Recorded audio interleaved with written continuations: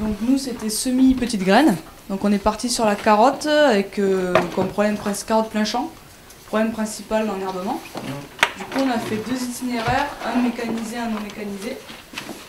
Donc alors ce qu'il faut savoir c'est qu'on est parti sur euh, on prend du temps quoi. C'est-à-dire que là le non mécanisé en août on va semer un couvert.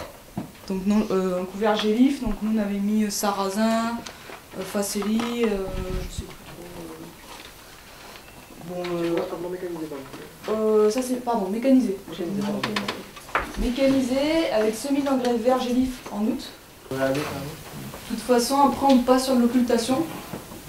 Et si- euh, c'est après, après on avait dit au moins deux mois d'occultation. À partir de quand? C'était à partir de quand? Début d'année, non? Euh. Bah en fait, c'est si ça peut geler, on le fait tout de suite en janvier. Si ça a gelé, on peut attendre. Donc c'est minimum. L'idée c'est de semer de la carotte fin mai, donc c'est minimum. euh, non, euh, oui, minimum occultation à partir de début mars, et sinon un mois et demi avant. Donc occultation mise en place de mi-janvier à début mars, disons. On est, on est plus pressé si ça n'a pas gelé, quoi. Non, Mais il y a l'histoire du rouleau, c'est vrai qu'on n'en a pas parlé, on peut déjà donner un bon coup avec un rouleau aussi. Oui, un coup de broyeur. Ouais.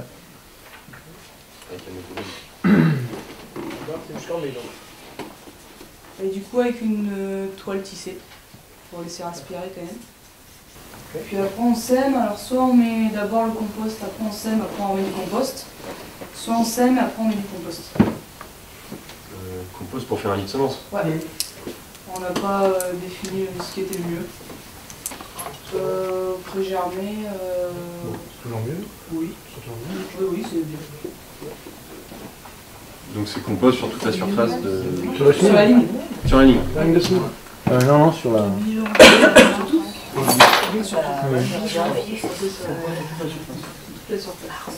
Oui, parce que sinon tu vas avoir des adventistes qui vont. C'est pour limiter les levées à côté. Faut un compost ou paillage.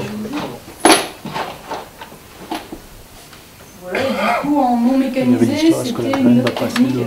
la paille, tu vois ça C'était avec un tasse de Ah oui, bois à côté, ou un compost. bambou qu'on pose en fait sur la ligne euh, tout- toute l'année quoi. Qu'on va enlever pour euh, semer.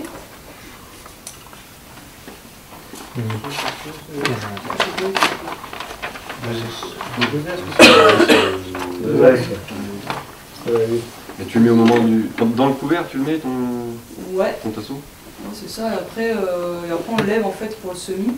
On sème et après on le remet. euh, Le mois d'août, enfin, la fin de la mois d'août. peux le laisser toute l'année. Enfin, Il est tout le temps sur le dès que sol. c'est- Voilà, dès que- Dès que c'est semé en engrais vert. non, c'est tout le temps sur le sol. Dès que tu as la parcelle libre et que tu commences à la préparer. après le semis, quoi. C'était comment ton. Tu, tu le mets après le semis, ton tasseau, après le semis du couvert.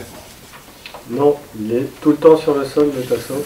Oui, mais ton Et juste quand tu as envie de semer, tu soulèves ton tasseau, tu sèmes dessous et puis tu remets dès que tu as une culture, en fait, tu commandes dès que tu as, la culture précédente définie, D'accord. c'est comme ça que je comprends. C'est ça. Et tu sèmes ton couvert après, Tu as posé tes tasseaux.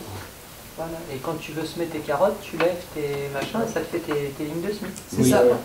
Et après, tu peux reposer le temps que ça germe et l'enlever dès que ça commence à germer. Sauf si on fait pré-germer.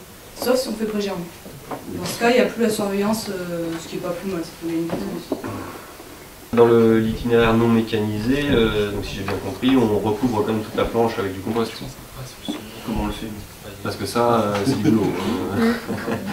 avec des petits seaux, euh, Bah, peut-être que là, c'est pour les radis, euh, Ah, ça sera peut-être que sur la ligne semis. peut-être que là, c'est la ligne et puis la paille, ce que tu disais, la paille entre les rangs. Quoi. Dans les Oui, oui, mais là on est en non mécanisé, itinéraire non mécanisé, donc euh, peut-être essayer un autre matériau comme la paille de lin ou, Oui. ou faire des essais avec de la paille broyée très finement, de la mi-paille, qui sont beaucoup plus faciles à transporter euh, dans des big bags, dans des grosses voitures, des machins comme ça.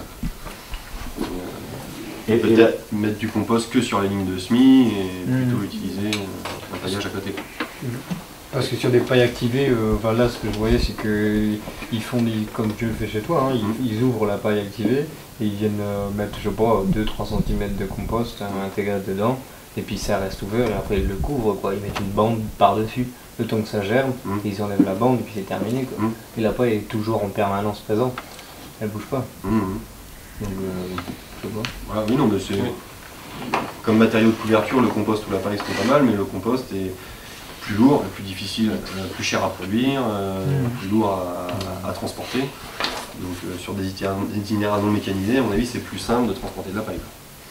Avec une brouette, avec... euh, Qu'est-ce que t'appelles la paille activée Tu, tu peux, tu mets Oui, parce que, par exemple, pour avoir une idée, euh, sous serre, euh, en est- ayant le tas à côté, il faut une semaine pour une personne pour euh, pailler 600 mètres carrés.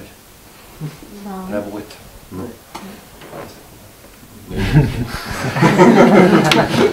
Alors que si tu prends de la menu paille, nous on a fait des planches de radis à la menu paille, on a des grands big bags remplis de paille.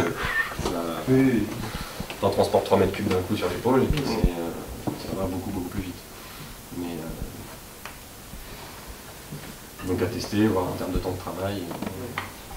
Le rapport C-sur-N de, de la paille est très élevé aussi. Oui, mais ça si j'ai un sol vivant, c'est pas gênant.